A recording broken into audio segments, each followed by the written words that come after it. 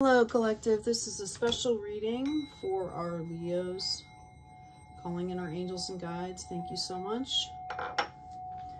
I'm going to do a quick card reading just to find out, oops, kind of where uh, Leos are at right now. And then I'm going to pull some runes. I'm going to do a four stone rune reading. Thank you, angels. Thank you, divine, for your insight, your wisdom, your guidance, your protection. Uh, can you give me some guidance for Leo today? Where are our Leos right now? And what do they need to hear? We've got see from a higher perspective. What else can you give to my Leos, please? Where'd it go? Maybe it didn't flip. Okay. Oh, here we go. Heart Guardian, love and let yourself be loved. So see things from a higher perspective, love and let yourself be loved. What else do we have for our Leos? Bask in joy and light. This is your birthday season, Leo. Bask in the joy and in the light. I'm going to now pull four runes. Uh, this Again, this is a four stone rune reading for our Leos. These are for guidance. Thank you, angels. Thank you, guides. What do you have for our Leos? Okay, we have joy, Wunjo. Kinship, heritage, joy. A reminder maybe for some of you to check in with your family. That could be soul family. That doesn't have to be blood family, right? Okay. Uh, we also have sun, thunderbolt, wheel of power. Okay, this is you, Leo. Sunshine, that's your card in the tarot. Okay, we've also got divine union and manifestation. For some of you, you could be finding your soulmate. Twin flames have been coming through with all these shifts. Okay, it could mean uh, divine union with the divine, learning to partner with the divine, and manifestation. Oh, you know what? I am actually reading the wrong one. I am so sorry. I'm learning how to use these. I apologize. I really apologize. Strike that back. This is horse, Ehwaz, twin gods and relationships. Okay, so we talked about the wheel of power, right? And we talked about joy, kinship, heritage, and joy. And this is about relationships. So I apologize for misreading that. I was looking, I first thought it was the cross one. Um, anyway, this could be having to do with your relationships. Um, you know, part of part of growing and aligning in our own spirituality is figuring out our relationships. And that's our relationship with ourself. It could be um, our relationships with other people. It could be sorting through bloodline um, and family relationships. Okay. And then, excuse me, we have intuition in the light within. Dagaz, dawn. Okay. I'm going to pull a couple cards here just for clarity real quick. Three. Oh my goodness. They're like already popping out. We've got the King of Cups. Okay. Wow. We have the Queen of Cups. okay. Uh, for some of you, okay, you could be, this could be, you know, saying that you're embodying the divine masculine and the divine feminine. You're balancing this out. For some of you, you could be pulling in a new relationship and with the cup energy here, this is coming from the divine. Okay, this is not an old relationship. This is new. I'm not saying that it can't be a past person, but this is a new relationship that's coming in. Um, a reminder that to have boundaries, that you already have your boundaries. This is new. Um, Ace of Swords, this is new things that are coming in. Um, I'm also okay, the war's over, you know, you're, this is like the coming together of two into one. Okay? This is new for you if you want it. Can I get some more clarity on that for my Leos, please? Some more clarity. Thank you, Spirit. Thank you, guys. Oh, here we go. Okay. I've got the Six of Swords. For some of you, this means that um, this relationship is going to pull you into calmer waters. Again, this could be you partnering with the divine, mastering your your ma you know your masculine and your feminine, balancing out.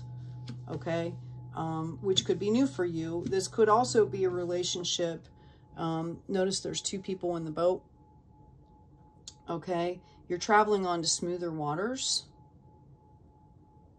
Okay, you've got your boundaries up. Um, you're being protected.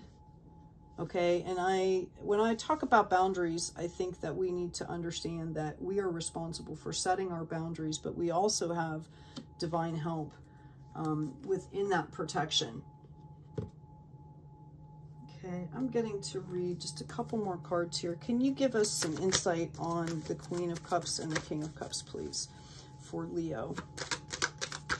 Because we're talking a lot about um, relationships here. Can you give me some insights on the Queen and the King of Cups, please? Okay, I've got the Queen of Swords. I've got the Five of Wands. So there may be some battles going on around you. You do not have to participate, okay? Queen of Swords energy. She's looking out to the future here. She's showing, you know, I can fight if I need to. Right?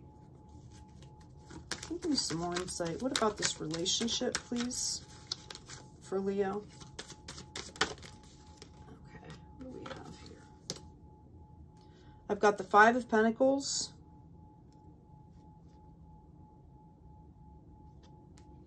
I feel like some of you, um, yeah, okay, turning into the Ace of Pentacles. So for some of you, I feel like this is what you were going through. This, you know, Five of Wands, okay, scarcity, um, you know, see, scarcity mindset, okay? You're being called to see from a higher perspective. We carry with us, just by tuning into the divine, we carry with us um, such great assistance and such light. And I see this turning into the Ace of Pentacles, which is, this is being divinely given to you. Okay. And I'm getting that, you know, with this relationship, whether you're partnering with spirit, okay, and you are mastering, you know, that balance, you know, this is going to be the result. Spirit is saying, you know, um, You've gone through some battles. You're moving on to calmer waters, or that's your intention, and it's going to pay off for you, okay? Spirit is going to bring that in for you. I'm going to do an oracle card here. What do you have for our Leos, please, who are dealing with their relationships? Maybe you're dealing with some ancestral baggage that you're trying to release and know that our ancestors, we've been chosen to be on this planet at this time, and our ancestors are rooting for us, okay? Because we're clearing generational bloodlines with some of the work that we're doing, right? By healing ourselves, we're healing back generations. So obviously the ancestors are going to be rooting for us, okay? I've got protection. Call back your power, cut the cords, and soul retrieval.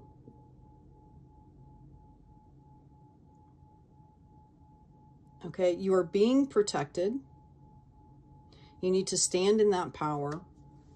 You need to see things from a higher perspective, okay, so that you can move on and bask in the joy and the light. You are protected, okay? You're already doing it. That was the second card that came out. Two cards came out. Stop overthinking. Keep facing your true north. You're already doing it. You're divinely protected. Okay, soul, soul retrieval. It's about pulling back your power, pieces of yourself that you might have left along the way with other folks, okay, or in other places or spaces, right? But you are protected during this process, okay, which is important to note. Okay, I'm going to go ahead and pull one more of these. Warrior woman, have you answered your deepest calling? See things from a higher perspective. Is what you're involved in right now, okay, is that about your highest calling?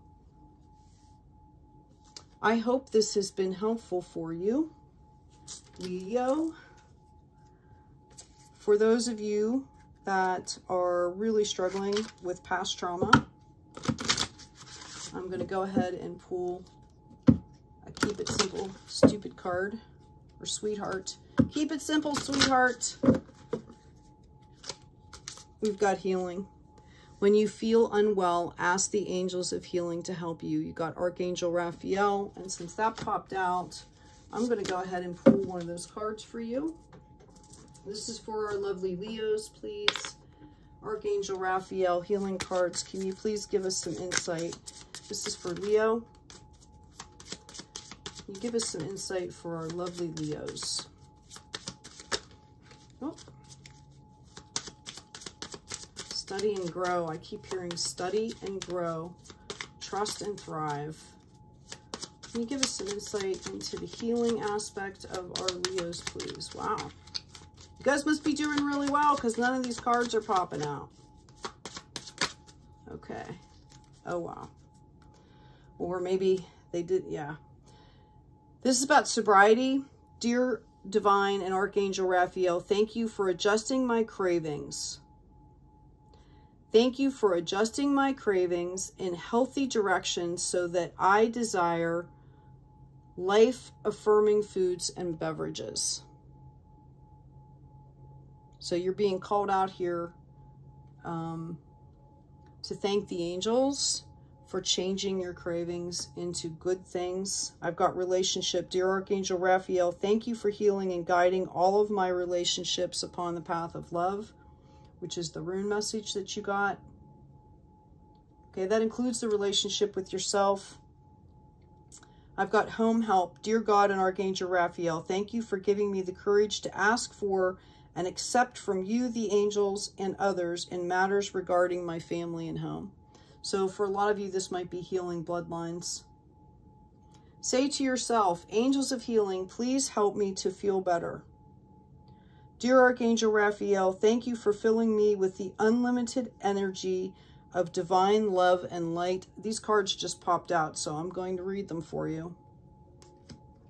Meditation. Dear Archangel Raphael, please meditate with me and guide my mind and body to focus upon peace, peace, health, and wellness.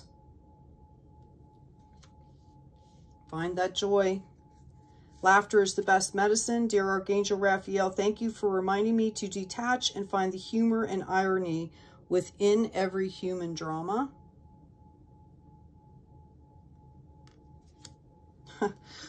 you guys must be going through a lot of dramatic stuff for your relationships right now. Just remember, okay, that your Ace of Pentacles is coming.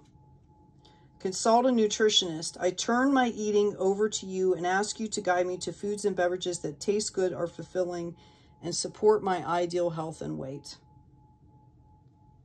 So I hope this has been helpful for you. As always, take really good care of yourselves, take care of each other, and please be kind out there.